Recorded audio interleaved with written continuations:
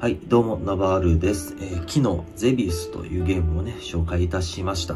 で、今日はね、アーバンチャンピオンというゲームを紹介いたします。で、このゲームはね、1984年11月14日にね、任天堂さんからより発売されました。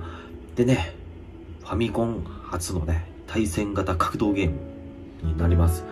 はい。で、カブコンさんのね、スト2、ストリートファイター2はだいぶ後になります。で、同年にね、VS アーバンチャンピオンとしてね、アーケード版も発売されました。で、舞台はね、夜の街並みで、いわゆるストリートファイターの世界になります。で、プレイヤーはね、一人の男性を操作して、相手にパンチを当てて画面端に追い詰めていきます。で、パンチはね、上下強弱を使い分けます。で相手のパンチをガードすることもできるんですが上下合致していないと攻撃を食らってしまいます。で強いパンチはね相手をダウンさせて大幅に相手をね押しやることができますが大振りで隙がまあ大きいわけです。で一方弱いパンチはね素早いんですが相手をダウンさせられません。でプレイヤーと敵にはね当然ま体力があります。でパンチを出すごとに20日ずつね消費されまたパンチを食らう。と大きく消耗いたします。で体力がなくなっても即敗北とはならないんですが遅く弱いパンチしか出せなくなり弱いパンチをね受けてもダウンすることになります。で相手を何度もダウンさせて画面の端に追い詰めるとね1ラウンドを取ったことになります。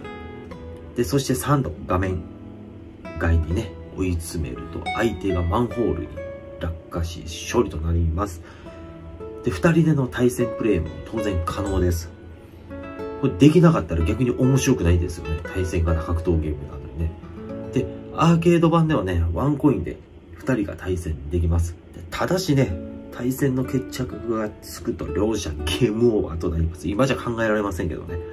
でなおねアーケード版では BGM がファミコン版とまあ異なっています。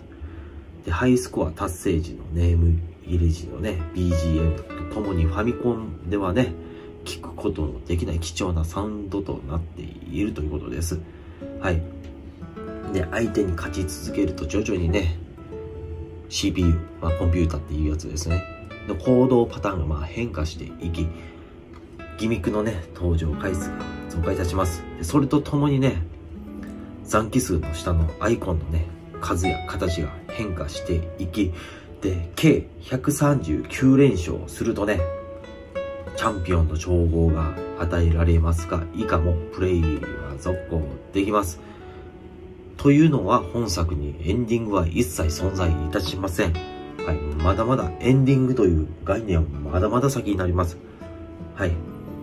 でね、私個人的にもね、紹介しなければいけない人がまあいましてね、まあ以前、山内博さん、で今取締役のね、宮本茂さん、でもう一人ね、レジェンドがいるわけなんですよ。その名前がね、横井文平さんという方です。このゲームのね、プロデューサーになります。まあ、軽く紹介していきますね。まあ、軽くていうか、これがまた一番長くなると思います、また。はい。まあ、この方ね、同志社大学工学部、電気工学科卒業いたしました。で、任天堂のね、開発第一部長として、ゲームウォッチ、ゲームボーイ、バーチャルボーイなどのね、開発に携わってね、宮本茂さんとね、並んで、任天堂世界的大企業を押し上げる原動力となった方です。はい。まあ、ゲームウォッチは私世代じゃないんですが、まあ、ゲームボーイはね、完全に世代です。はい。で、バーチャルボーイもやったことあります。すごいですよね。横井軍平さんが全部ね、開発に携わったんですよ。で、1965年、同志社大学工学部のね、電気工学学科卒業後ね、大手家電メーカーへの就職をね、まあ、当然希望していたんですが、成績不良によりね、いずれもね、就職試験落ちて、で、近所にあって、なおかつね、採用してくれたという理由でね、任天堂に入社いたします。でね、当時のね、任天堂さんは京都。まあ、もともと今でも京都やと思うんですけど、本社は。花束トランプメーカーだけやったんですよ。はい。で、それに、そのメーカーにしか過ぎずね、横井さんもね、工学部卒の入社第一号だったと、まあ、言われています。はい。で、入社当初はね、設備、機器のね、保守点検の仕事もまあ任されていたんですが、まあその暇ができるわけじゃないですか。その暇つぶしでね、少子上のね、伸び縮みをするおもちゃをね、作り遊んでいたところね、山内さんにね、山内博さん、社長にね、見つかって、ね、社長室に呼び出されます。で、処罰をね、受けると思ったんですよね。それを覚悟していたんですよ。ですがね、山内さんね、こっから山内さんの言葉です。それをゲーム化して商品化しろなんですよ。怒ることせずに、それを商品化しろなんですよ。です。物をね、つかめるように改良を加えてね、ウルトラハンド。私聞いたことあります。これをね、商品化したんですよ。で、ウルトラハンドはね、コピー品が出回るほどのね、大人気商品となります。まあ、これをね、遊んでた横井さんもまあすごいんですけど、それを商品化して出せって言うと、これ山内さんすごいですよね、これ。もう先見の目があったんでしょうね。はい。で、同作のヒットをね、きっかけに開発側がね、ここで初めて設置されました。で、横井さんも、任天堂の玩具開発担当することになります。で、当初ね、開発家は、横井さんとね、経理担当のね、今西博さん。まあ、この方も後々また紹介していきます。で、この二人だけだったんですよ。まあ、三人ですよね。社長入れたら。で、作品数が増加するにつれて、ここもやっとね、人員が増加していったんですよ。もう本当に子会社やったんですよ、任天堂さんで。で、1979年にね、開発化分割され、で、横井さんもね、開発第一部の部長となり、で、1996年に退社するまで、同部署のね、不動のエースとして活動しました。で、なおね、この頃からね、横井さん自身は主にアイディアを出す人になって、実際に技術面での開発に当たるのをね、岡田悟さんがね、筆頭とした他のね、技術者いう体制が取られました。で、横井さんはね、横井さんはね、これもちょっと笑いそうやったんですよ。コンピューターが嫌いやったらしいんですよ。ゲームボーイとかね、開発しときだからコンピューターで嫌いやったらしいんですよ。でね、上村正幸さん、まあ、この方も後々紹介いたします。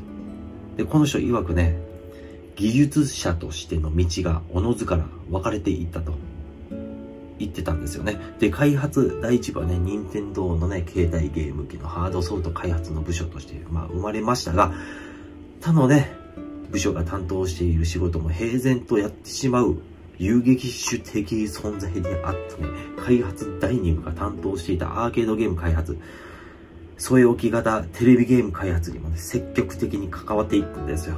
コンピューター嫌いやのにね。でね、えー、任天堂ね、アメリカのね、会社です。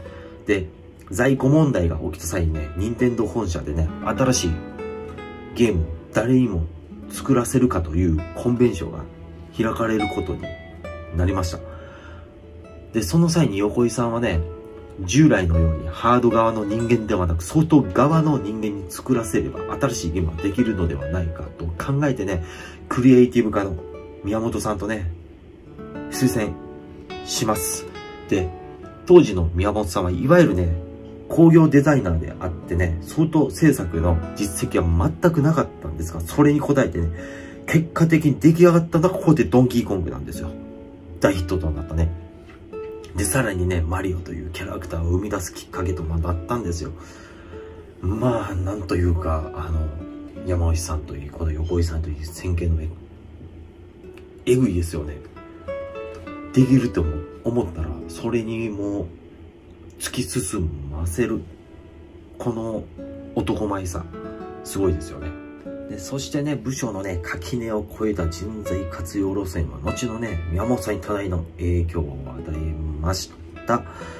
はい。で、横井さんがね、主に手掛けたゲーム機はゲーム同地、先ほども話しましたゲームボーイシリーズ、で、バーチャルボーイなどがありますが、またね、ゲームウォッチ時代にね、十字キーね、今も当然普通です。これを考案してね、それは後続の任天堂のテレビゲームのね、デファクトスタンダードになりました。はい。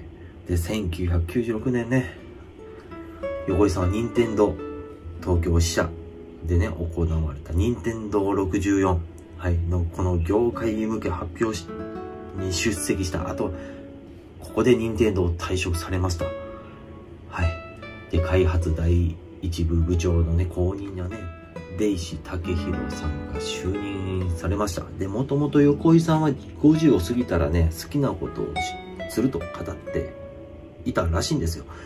で、自主退社だったんですが、日本経済新聞がね、バーチャルボーイのね、まああんまり売れなかったんですよ、バーチャルボーイっていうこのゲームにね。でこれの不審の損失の責任を取るための辞任とね、報じたために、ボイさんこれを反論してね、文系修準という雑誌にね、1996年11月号で、私はなぜ任天堂を辞めたかという執筆をいたしました。で、横井さんは退社後、より自分のやりたい商品開発を目指し、で、株式会社ことを設立しました。で、くねくねちょっというね、携帯ゲームやガングラのね、企画をした他ね、ワンダースワン聞いたことありますね、ワンダースワンの開発にもね、アドバイザーとして参加いたします。で、ワンダースワンのね、パズルゲーム、ガンペイってあるんですが、これ横井さんのね、監修によるもので、ワンダースワン用ソフトとしてかなりのヒット作となりました。ですがね、まあ、ここからちょっと残念なね、話になるんですが、独立から1年後のね、1997年10月4日、横井さんはね、石川県ね、濃尾郡、根上町っていうんかな、のね、北陸自動車道上り線でね、知人男性が運転した車がね、前の軽トラックに衝突する事故が起こったんですよ。で、そのね、衝突した軽トラックを動かすためにね、車外出たところも残念ですが、後続のね、乗用車にはねられてしまい、同日のね、午後9時に搬送されてね、小松市民病院で外傷性ショックのため56歳で亡くなられてしまったっていうことなんですよ。残念ですよね。まあ、レジェンドやったんですけどね。